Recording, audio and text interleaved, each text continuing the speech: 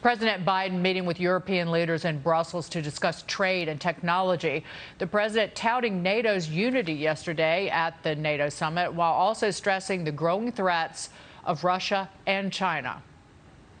Russia and China are both seeking to drive a wedge in our transatlantic solidarity. We're seeing an increase in malicious cyber activity. But our alliance is a strong foundation on which we can, our collective security and our shared prosperity can continue to be built. And I made a point to make clear that the U.S. commitment to Article 5, the NATO treaty, is rock solid and unshakable. It's a sacred commitment. NATO, NATO stands together. That's how we've met every other threat in the past. Joining me now, Fox News senior strategic analyst, General Jack Keane. Always a pleasure, General. Always a real honor that you're here. Your reaction to what you've heard out of President Biden after the G7 and then the NATO meeting? Well, a couple of things. First, uh, uh, Dagen, it's great to be on a show here with you. Uh, First of all, on uh, dealing with the G7, I thought it was uh, laudatory that they did bring up China, which is the first time that's ever happened in, in, in terms of any consequence. I think the, the messages coming out, though, were not nearly as strong uh, as they could have been. It, it, it would have been far better when it came to COVID to really pin the rose on China in, in terms of its deception about the origin of it, and to go back to the WHO again and ask for another investigation, in my judgment, is kind of lame. We know full well that they're not going to conduct an independent investigation. I, I think the G7 could have called for an independent body uh, away from the WHO to do that investigation. But even even more important than that is the fact that there should have been a calling out of China for the spread of the coronavirus because we know full well that they shut down all domestic flights coming out of Wuhan City but permitted international flights to run for some period of time. And that is absolutely criminal behavior on, on uh, in my view, for sure. Though that was disappointing that the message wasn't stronger, uh, Dagen. And uh, in NATO, certainly the solidarity that NATO represents is, is a good thing. It's the strongest and most successful political alliance in, in history, coming together and reinforcing each other against the threats that we're facing. Uh, the fact that China again is on the agenda is a very good thing, and it, it also shows the changing nature of the contours uh, of geopolitical achievements in the world and how China is seeking domination of its region and the world at large. Uh, NATO needs to shore up themselves there. There's a lot of disagreement, as you know, in NATO about China. Many of them uh, side with China because of the economic influence and the desire to do trade. Uh, I think pulling that kind of uh, cohesion together is going to be a challenge for, for the United States.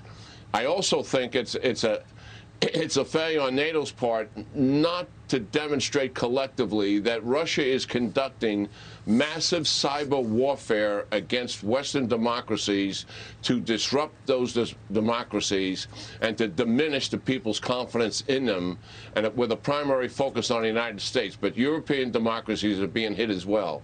We have got to finally come to grips with how to deal with this phenomenon, and certainly NATO should take it on because it is an instrument of power that Russia is using in, in this conflict.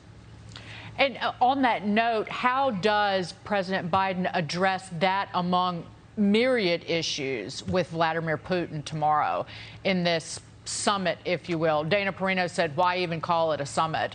Because it brings on kind of an element of grandeur to call it that, and you're not even going to have a joint press conference. Maybe that's a good idea or a bad idea.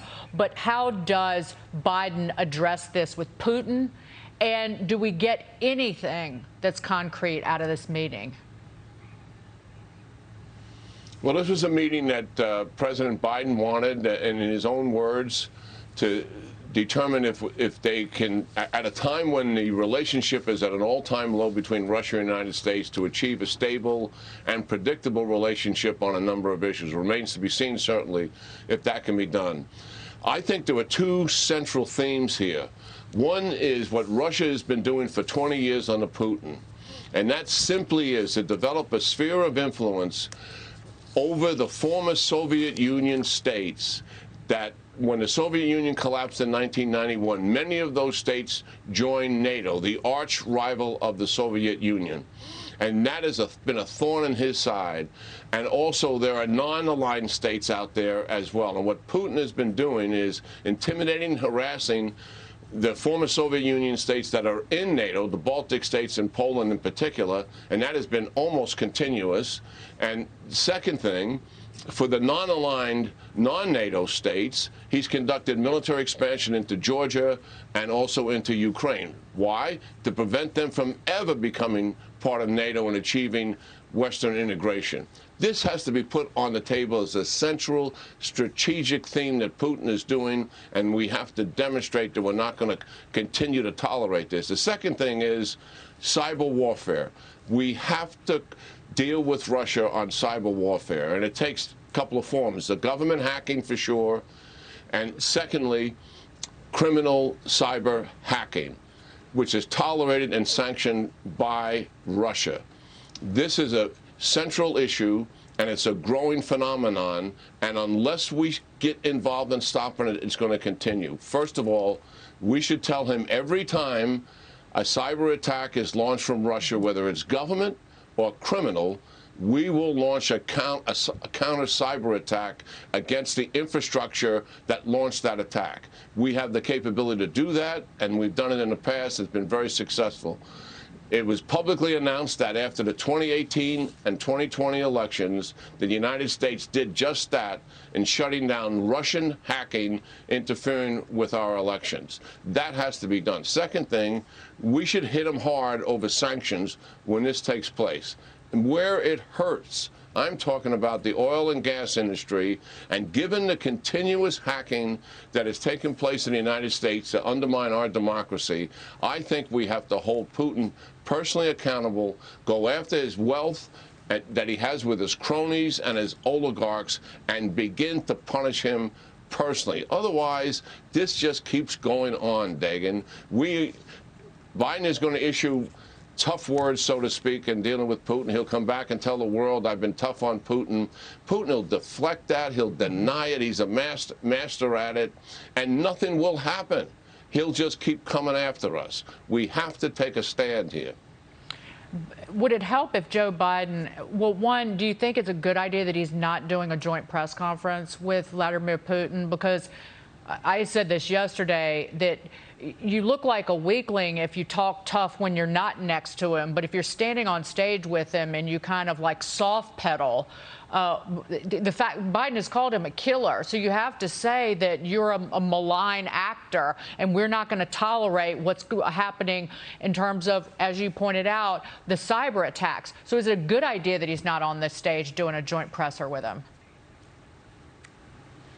Well, I think what, what's happening here is his handlers are just trying to protect him because clearly uh, he he could be forgetful at times, and we've seen that in some of the uh, public uh, press conferences he's had so far, and he's prone to gaffe, and and I think they're they're concerned that in in the free-willing nature of a press conference, uh, Putin could likely show him up. I, right. I, absolutely believe, though, that the press conference should be held because it's a huge opportunity to internationally and publicly point a finger at Putin for what he is doing in that press conference, not just to his face one on one.